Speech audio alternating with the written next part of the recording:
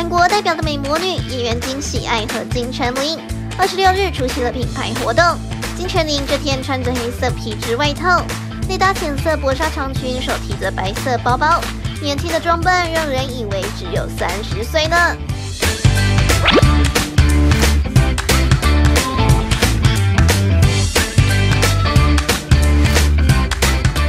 而金喜爱穿着绿色格纹套装，优雅的装扮亮相，显得气质出众。一样年轻的魏梦，真的看不出岁月的痕迹呀。